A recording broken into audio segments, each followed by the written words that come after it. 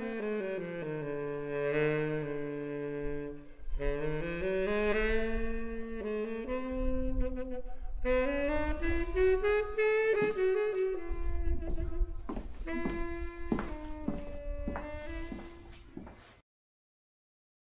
met Caroline 1997 when we were part of a cooperative called the Wonersh Gallery, which was a cooperative about 12 us artists, makers, and ran very nicely for three years. And then it uh, petered out. But Caroline and I were quite keen on the idea of carrying on the gallery, so we took it over and we ran that then for another three years. That was our first taste of it. Round about that time we started the gallery because I started uh, the Wonersh Gallery. I had my life drawings there. I didn't have sculptures. And then I'd always wanted to sculpt, so I did sculpture at Adult Education in Guildford with Carol Orwin, tutor. And that was brilliant, really. And I just uh, loved it and started sculpting figures mainly and casting them as well, inspired by the human figure mainly. And then I did my dog for one Christmas show, my old dog, and it just sold and sold and sold. And from then on, really, the dogs have rather taken over. I still cast the small pieces myself, but I, I use a caster for anything big. Bronze resin, you have real bronze powder and you mix that with liquid resin to quite a creamy, thick consistency. Layer that into the rubber mould and then you back that up with either fiberglass or a solid fill depending on the piece. Um, when you wire wool it, you're taking away all that plastic on the surface and you get a bright bronze and it will patinate. It's interesting working as a partnership. Caroline and I have been working a very long time together. Next year will be 20 years of Lingwood Samuel. And we, we really do work very well, actually. It's, uh, she's incredibly creative, artistic, uh, a real creator, and has a, vision, a very clear vision. I know the work I like from other people, and I can spot talent, but the vision she's got for the interior of the gallery and the hanging is very precise. I quite enjoy the admin and finding the artists and contacting the artists and dealing with them. And she's not mad on uh, paperwork and um, phoning artists or you know that sort of thing. I tend to do more than her, which is fine. The dynamic works amazingly well. When I left university, I went on to open a wedding dress shop, making the dresses and embroidering them because at Goldsmiths my degree was in fine art textiles and when I left to make a living I knew that I could do that making dresses etc where people would pay the money for the embroidery. But very soon I realised I wanted to go back to the fine art side of it which was my real love. And I started doing that and we moved out to Shamley Green and I started my first sort of small studio from home there. A few years later, I joined a cooperative where I met Margaret Samuel. We were both working artists with young children, so the cooperative seemed like a very good idea. That became the Wonersh Gallery, and we were there for six years, inviting other artists to exhibit with us. The landlord decided to sell up, and we spent probably 10 years looking for premises. During that 10 years, we put on large exhibitions in private houses. So we would have 20 to 30 artists and we would have a big a sculpture trail in the grounds. And this is when we first had Richard's work. And then coming up for five years ago, we, we found this property. The building is a grade two listed building, which again is something which we were very passionate about having a, a very special space and we wanted to make the space almost home-like. Then it's not a traditional white-walled space. We hope that when people walk in, they don't feel put off, that it's too sterile. Trying to help them to understand how a painting or a piece of sculpture or a ceramic could actually work in their own home, and and that is that's very a very strong part of what we do here.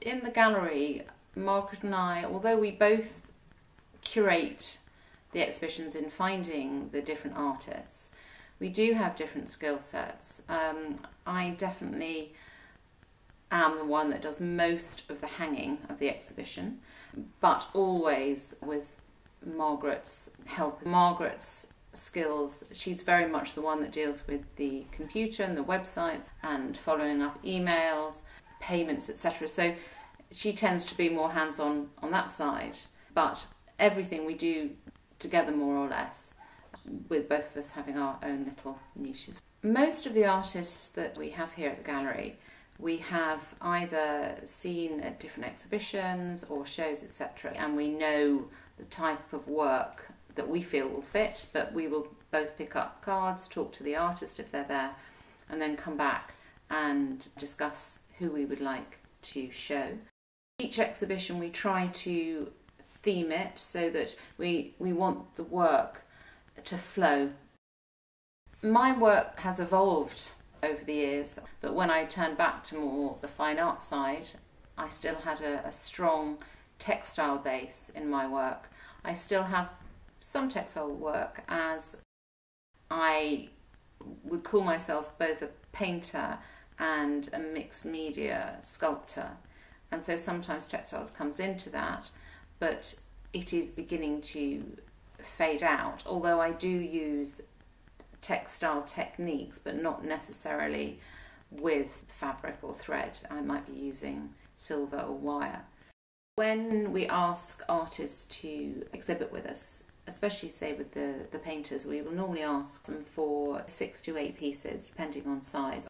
We have a strong vision, which is, reflects our taste, and so we do look further afield. We have local people, and if we feel that um, local people's work fits in, then that's great. But it's very hard just to keep just local mm. art. People will either deliver or they will post it, courier it generally. As as I am both an artist and a, a gallery owner, I think I have a good understanding of how it is to stand in the artist's shoes. I think a lot of pure gallerists wouldn't because they're trying to sell work, but um, they don't see it from an artist's point of view. So I know they have expectations and I don't want to let them down. And I have to say, there are times when work comes in and I think, wow, this is amazing, this will walk, out the door, and it doesn't. And then other times work will come in and I'm thinking, mm, I'm not sure how will that go with our clientele, and it just all goes. So, although we obviously have an idea of what will and won't, sometimes one is surprised. We are in very difficult times at the moment, we have been for the last few years. People are reticent, but we have a very good, loyal following who always support us. I don't think we sell just to uh, regular clients. I suppose what I would say is that we have a good body of regular clients and a mailing list, but we always have new people coming in every exhibition, and which which is why we try to always have new work because by having new work it keeps things fresh. We're not like a shop that always has the same staff. Somebody who may not have known we were here, something in the window, they may have walked past a number of times, but nothing's caught their eye, and then you have a piece that does, and that will bring them in, and then they will come back When we invite an artist to exhibit with us, we have looked at their prices beforehand so that we have an idea because being a small provincial gallery as such, we have an idea of a threshold of a price that we can potentially have work at. But the prices are set by the artist. They know what our commission is, and it is extremely difficult because it's how does one price one's work? Is it on hourly rate? Is it what you think it should be? It's a minefield. So it has to be something that the artist at the end of the day has to be happy. So if they come to us and and you know they're not sure how much to sell their work for, we will advise whether we think that we can sell the work for that. But I would never tell them how much it should be because I don't know what goes into it. So, what is something worth? It's, is it worth what somebody will pay for it? But if you are spending a long, long time making it and you can't sell it for that, you're not going to be able to make a living from it. So, why are you doing it? Sometimes one has to make work which is slightly more commercial, but still have work which is following your heart and what you really want to do, but at least have some other work which perhaps you can make your living from, but enables you to do the other work, and the other work might then take off and you will be able to make it pay. But as both Margaret and I are working artists, we do understand that. That's all we can do is, uh, is advise, really. The emailing list is several hundred now, and so I email them. That'll be going out this week. Several hundred followers on Facebook and Instagram. So I'll do it on Facebook, I'll do it on Instagram, I'll do the mailing list. And that is it, certainly for this exhibition. For the Christmas exhibition, we'll send out a card as well and put that in various different places. On our website, there are examples, and I will post on Instagram regularly so you can access that from the website and there will be examples of people work but there's not an online catalogue as such. There's a list of the featured artists. I don't list every single person. I mean I'm not on it. Caroline's not on it because we're always there. But the new artists are on it. And if we've got new work from somebody who's come before they'll be on it. So say somebody's exhibited with us twice before I'd put and they're coming specifically for this exhibition they'll go on it again what we don't have is a selling page but we have sold quite a number of pieces via social media and via the website a surprising amount happens on Instagram without seeing physically the piece I will send them more photographs and I've sold big picture to uh, New York they'd not seen it and the shipping was obviously very expensive. The customs forms and everything is quite expensive when it gets over 300. That all gets more complicated. I saw Rich's work on a street market in Godalming a number of years ago. He was making lovely jugs uh, with insects and butterflies and bees on, and I said, I bought one and showed it to Caroline and said, "Look, I think these are nice." how about it? And she said, yeah, that's fabulous. So he came and he exhibited at an exhibition we had at her house. It was a good few years ago now. And of course, he's gone on from there to much different work. And we've seen his more recent work and thought, yes, that would be fabulous for us again. I was just blown away by how the work had grown and uh, evolved, and how the feeling of almost the Delftware and the tiles was also a part of these more far more sculptural pieces as well. And both Mark and I just felt it would sit really well in the gallery, which is why we then approached him again.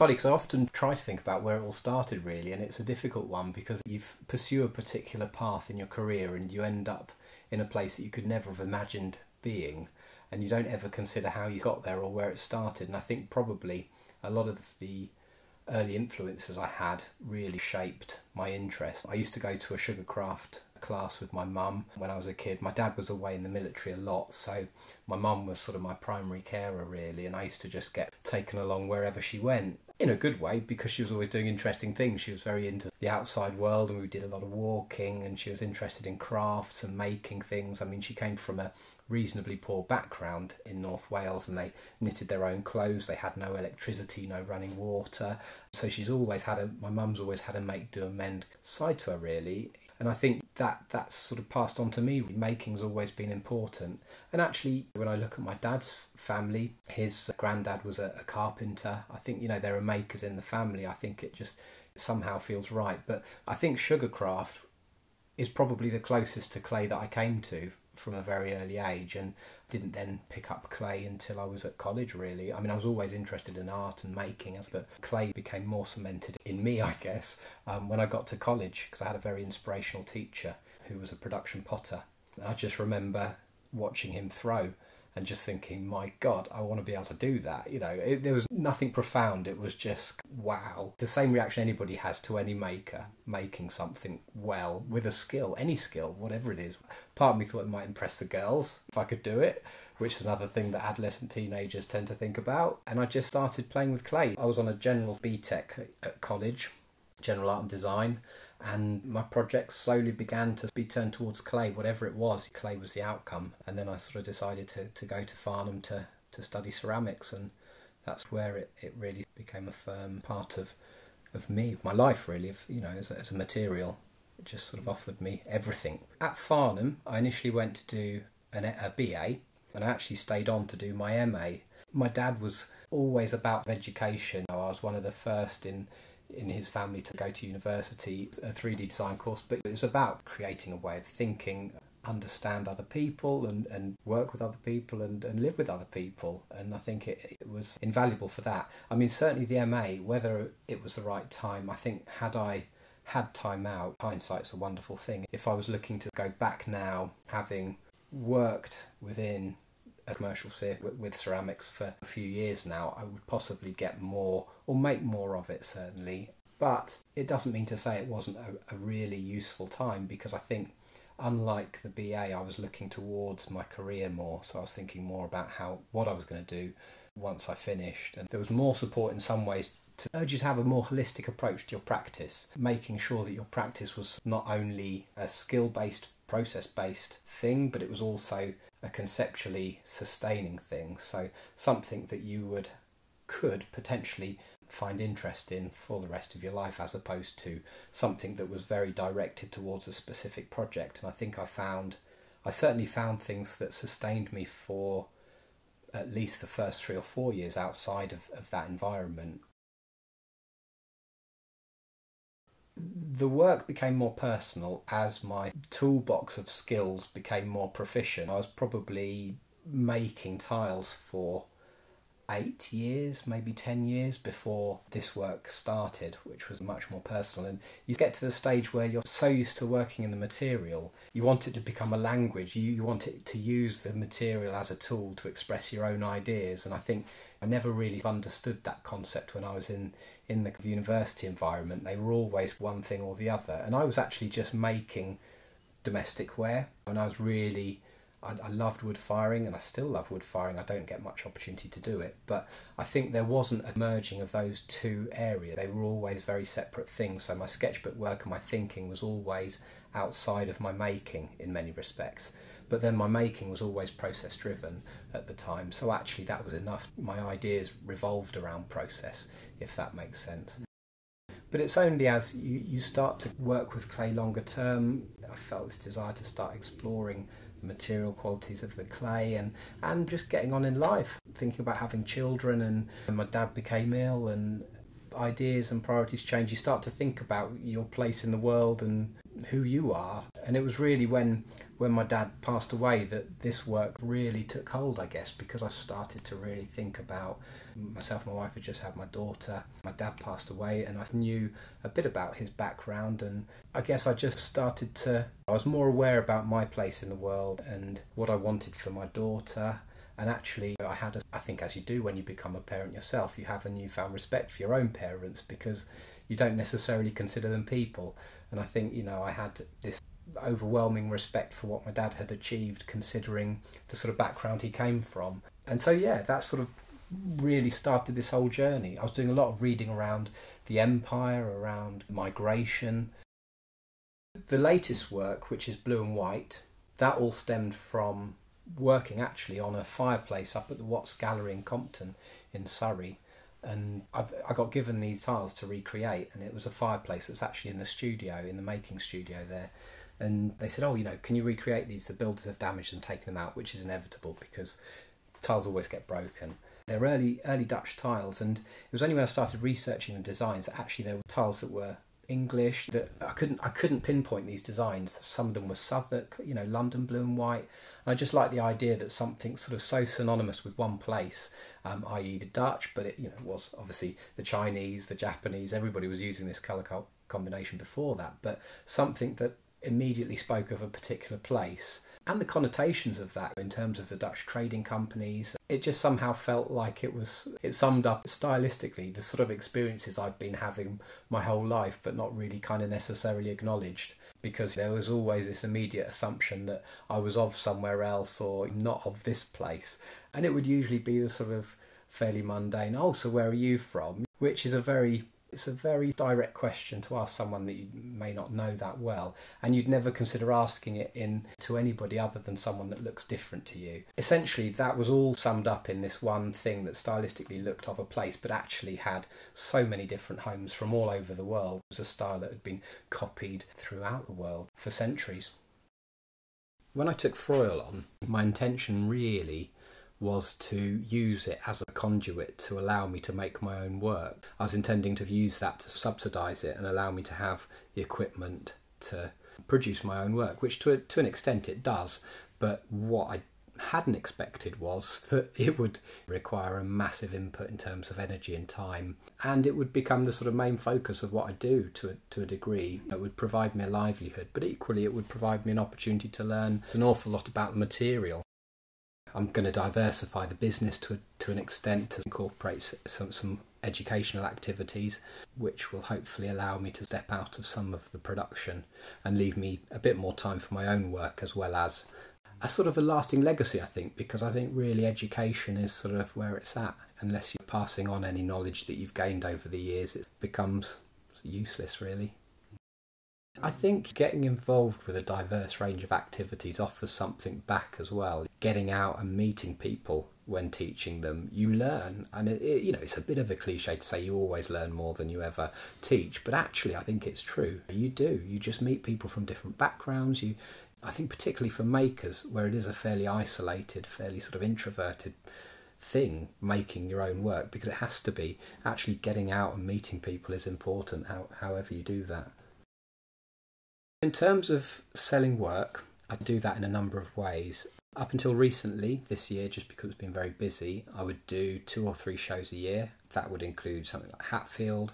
I used to do Art in Action, which was a wonderful event. I also do uh, have done previously uh, Ceramic Art London, but I don't do masses of shows purely because it requires a massive amount of work to collect enough stock up to sustain two or three days selling actually it tends to work far better to supply galleries who require 15 20 pieces at a time and then you top them up. And they take a commission but it's well earned. And actually when i've actually looked at the figures and look at how much it's cost me to do the shows and how much I've sold and how much I've made, you know, obviously deducting my time, it's actually fairly comparable. They're, they're equally as profitable. Generally, you don't sell so much as quickly because they've got less customers coming in on a daily basis. I mean, a show like Ceramic Art London, I would imagine, would have a couple of thousand visitors a day, if not more, and a gallery would rarely have close to that. But it goes out, and you get a check at the end of the month, and it, it trickles back in. So it's it requires an investment of your own in stock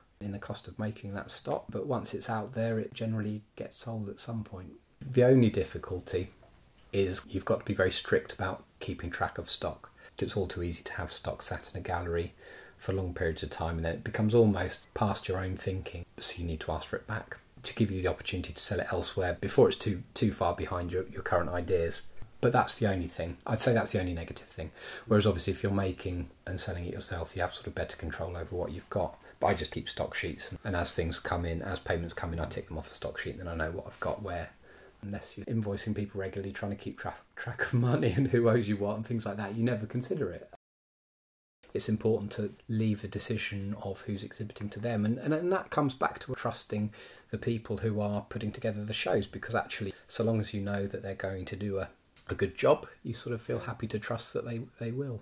The gallery that has been most successful for me is the Stratford Gallery. They tend to hold work all the time. Howard and Emma there are wonderful. They're ceramics enthusiasts, and ultimately, you just need to find the galleries who are passionate about your work because I'll, that will it is what sells it. And having people that are passionate about ceramics is the next best thing to standing there yourself and extolling the virtues of what you've made. Bils and Rye have always been very good. They're generally independents where the people running them are passionate. And I think in Godalming, that same situation. They're just um, passionate people. They're passionate. They're makers. They make, so they, they get it. They would, in my mind, make the most effective salespeople for, for anything that, that I make, really.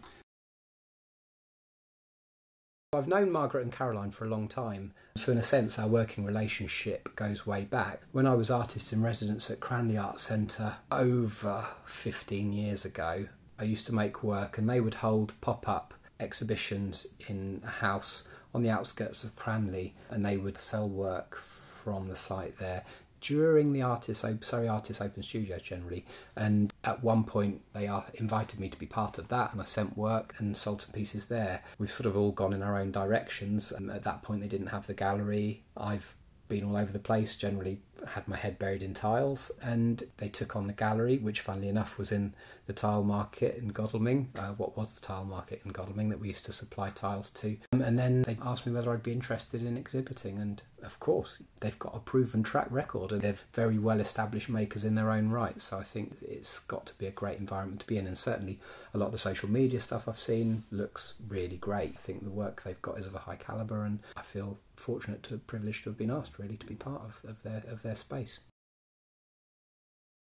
When it comes to price, it's always very difficult, I think, pricing work because there's a number of considerations, one of which is obviously the amount of labour that goes into it, but then there's always that ambiguous element which comes down to the stage you're at in your career, where the work is, where you feel you're at, where you feel you can price the work and sustain that price. With the tiles, I tend to find it's a very straightforward process, but when it comes to the pots, it's far more difficult because it is so subjective. You're sort of ultimately pricing it at a point where you feel somebody else will accept that that's a realistic price also it's very easy to undersell yourself it's very easy to set too high a price i mean it's i think it's just one of those things that comes down to experience and learning coupled with how long it takes you to make it and the kind of nuts and bolts of the pricing your actual costs you know the firing costs the cost certainly in this the cost of the decals the cost of the glaze the cost of the material the cost of my time potters tend to, to undervalue their labour. I only know that certainly now my time is valuable because I don't have much of it, so I have to price it realistically because otherwise I can't really justify making it. My time is definitely my limiting factor. Hmm. I've got to the stage now where I've got so many different things coming up three months out for the throwdown filming, and that's a quarter of my year taken up in, in one activity. Organising the art in clay event, that sort of squeezes around everything else in late evenings. Work, you know, this work tends to be 8.30 onwards, weekdays mostly.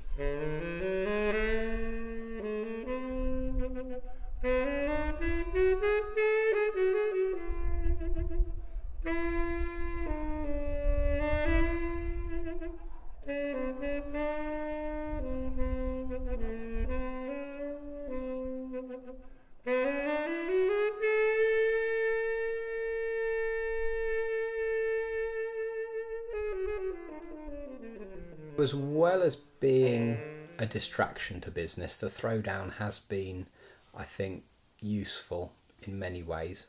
I'd be naive to think that it hasn't raised my profile um, in the ceramics world because I think it's been a show that's been very useful to the ceramics scene. Really, you know, I think it's it's encouraged people to get back into to clay if they've not worked with clay for a while. It's encouraged new people to the discipline and I think it's put ceramics into the front rooms of 4 million people on a weekly basis, which has to be beneficial. I think certainly my role on the show, I remained under the radar enough that it's raised my profile with people who knew about it, but I'm not walking down the street or going to Tesco's and people are asking for photographs, which is great because I do not court that kind of element. It's certainly not something I expected to be involved with as a potter. You know, when I got involved with ceramics, it's not something that was even on my radar. And that said, it's been a it's been a really interesting learning experience. You know, learning about that kind of world and being immersed in it for a long period of time has been interesting. I've met people from you know all sorts of different industries that I probably never would have encountered otherwise. And yeah, I'm sure I've sold pots because of it. And certainly when it's sh- showing on the TV, you know, there's more social media going around, and I'm sure that's been beneficial. All of that said, it's very stressful. It's great fun. I mean, really great fun. Being part of a team of people that are all incredibly good at what they do. I mean, I think that's something that I'd sort of not, not necessarily been part of. You know, I mean, everybody's a freelancer and they're all only there because they, they're very good at what they do. And so being part of a team of people like that is, has been really, really great. Watching the contestants as part of the throwdown is has been mind blowing because actually realizing what is possible. I mean, we push every element of the process, and I mean, over the last 13, 14 years with the tiles, you know, we've had tight deadlines and we've pushed push clay to its limits, push process to its limits. So I'm kind of well used to doing that, but it's my own work and actually sort of pushing what are essentially kind of amateur makers to their limits, to the limits of the process, to the limits of the material, has been mind blowing. You know, I mean, just seeing what's possible, it just makes you feel like anything is possible. Because I think we all very easily sort of set barriers up, or we get fed these rules that you can do this, you can't do that, you do this like this, you do this like that. You know, but actually to sort of see people just find their way and, and make things that you would never imagine making, and you know, in timescales you would never give yourself in very in a very sort of strange environment, very pressured environment. It's mind blowing to watch. It's been very really interesting, you know. And obviously, the lovely thing about being part of the show and not watching the end result is you feel you're watching it in real time. So you're watching these people develop week to week and gain confidence and yeah, it's it's inspiring. You know, it's really inspiring watching the Potters and what they achieve. It's just it's amazing, and I'm just there to try and make sure that things don't blow up. But obviously, I only ever work with what they give me. So, you know, it's not like I'm in any way shaping the result. You know, that's that's down to sort of how they make what how they approach the challenges or not. I throw the basic forms. A lot of the forms and the rim details and things are based around chimney pots. So I was looking at a lot of old traditional chimney pot manufacturers, things like that. And again, that's to sort of cement it in British industry, I guess and then I leave them to harden off for maybe a day, a couple of days, depending on how warm the environment is, and then I emboss them using wooden tools of varying sizes, which relate to finished sizes. I then either do watercolours or more recently I've been drawing digitally straight into an iPad. So I do all of the drawings and then I use a company in Stoke-on-Trent that produce digital transfers uh, to order. They're then cut up placed in water, they're all water float transfers, floated off and then applied to a fully glazed pot. It was Ceramic Art London was the first time I made this work for uh, 2016. And I was literally outside Ceramic Art London and I'd made all this work. I'd interviewed my mum and dad and I was waiting in the lay-bys. He was in the van waiting to help me unload and, and everything else on the setup day. And I got a call from my mum and she'd just found my dad dead. So I set up the show. The whole show was just a blur, but it was one of those things where actually it was probably a good bubble to be in. It was heart wrenching because I was talking about my family and my dad and the history of the pieces for the whole weekend, and people were just wanting to engage with that. And I'd made this book with pictures of me and my mum and my dad, and really it was just tough, you know. But in hindsight, it was really positive because actually you don't get that opportunity to discuss things like that in such a positive way. And actually, everybody that comes to a show like that is really open to what you're doing and they want to learn about you and you this jug is it's a fairly early piece. So a lot of this is starting to think about some of the themes that I was looking to explore. For example, it's got HMS Victory here, which is one of the images which is almost the most incongruous really on here because everything else tends to relate either directly to the Empire or Britain or uh, Guyana where my uh, dad was from or Wales where my mum was from. But HMS Victory was something that I visited. My dad was stationed at HMS Dryad, so I was brought up in Emsworth and I used to go to the historic dockyards all the time. Victory was a ship that I visited on a number of occasions, and it was only through reading a, a book by David Olusoga uh, recently that I realised that a fifth of the crew on HMS Victory were from the colonies. And it was just one of those things that had been missed from my experience of the ship and something that I thought would have been fairly relatable as a young person. All of these are verses from the James Thomson poem Rule Britannia.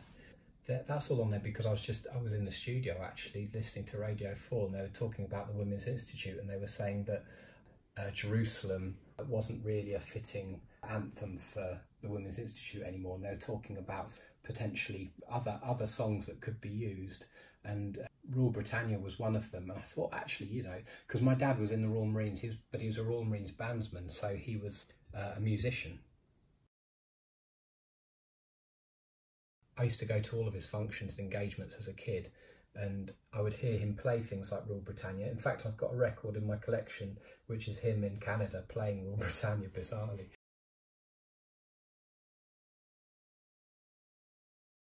This is the Demerara River, which is really why Guyana in South America was so important to the empire.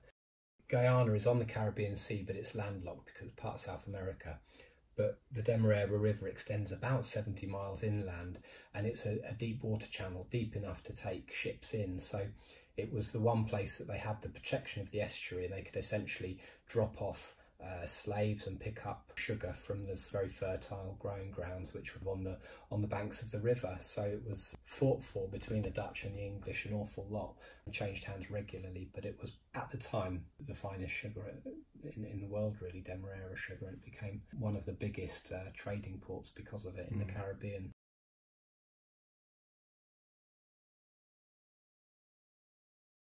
We've got the Welsh dragon, and that's because it's sort of a familiar emblem to me, really. And it, my mum is Welsh, and it's just a symbol that I used to see an awful lot because there's a sort of a patriotism that Welsh people have that is unlike anybody else in any other sort of regional part of uh, of the UK. So it had to be on there, and it acknowledges my mum's history. But she went into the army as well. So we've got the Women's Royal Army Corps emblem here. And further down, we've got the uh, Royal Marines uh, emblem here. And that again, you know, that's to sort of signify my parents' working career. Really, my mum was in the army, stationed in Germany, and my dad was uh, in the Royal Marines Band for nearly thirty years. My granddad, great granddad, was a, a prospector out in South America. They call them pork knockers. And he would lead expeditions into the Guyanese interior to look for gold and diamonds. And I mean, it's all a fairly clouded history. We don't know exactly what was happening and what did and what didn't, and it seems to be the, the case that he said this, she said that. But the, the end result is that a diamond was found, and the the two American chaps who were sort of part of this expedition, who I presume were funding funding it, um, actually split the proceeds quite generously with my great granddad, and so he was able to buy a bakery and a shop and some property in Guyana. And then as independence came round, Guyana fell to bits politically, really. Um, there's a lot of corruption in the government. And when, when it was sort of finally given independence, literally a lot of the assets, as it were, were taken out of the country um, and it was left with nothing. Within the lead up, there was a lot of violence on the streets, and my granddad made the decision to move over here because it was the early 50s, so there was still a sort of tail end of that call for a labour force to kind of help support Britain's economy really after the after the Second World War. He came over and worked on the buses and he sent for the children gradually. So my dad, being the eldest son, he and his brother came first when he was 10 and then within a couple of years my granddad passed away from cancer and my dad was then sort of head of the household. So at 15, he joined the military to fund the household. And I think being a black 15 year old in the military in the what late 60s, early 70s was probably quite a tough place to be.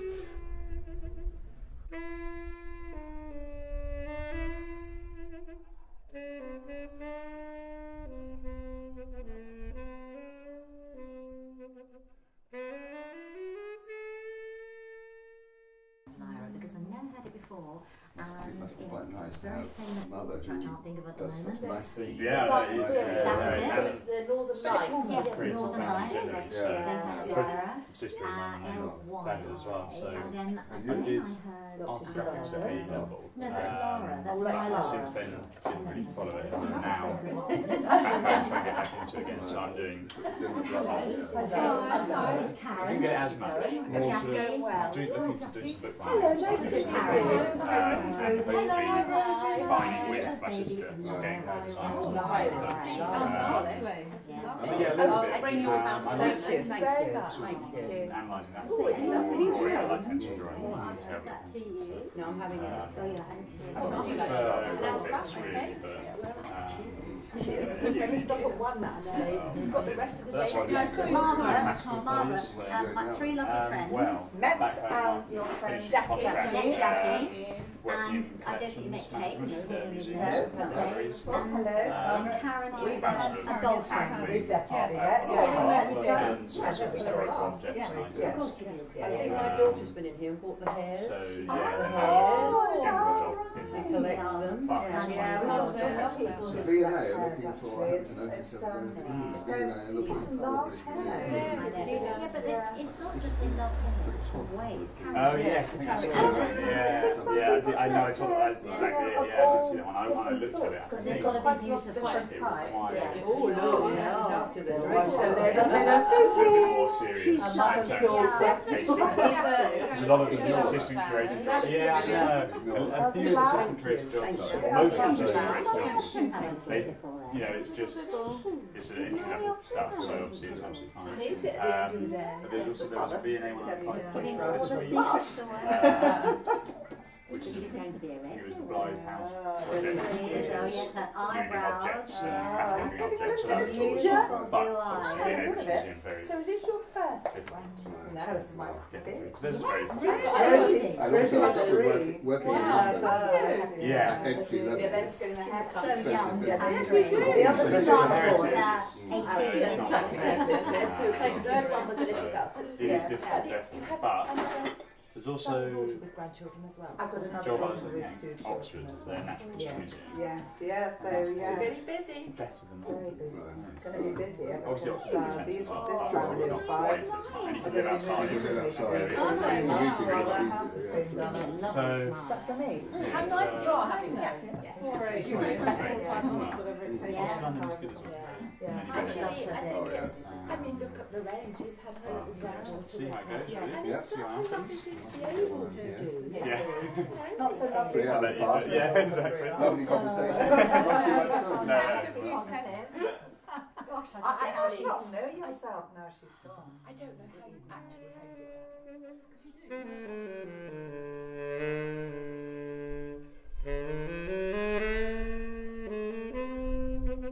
it. Thank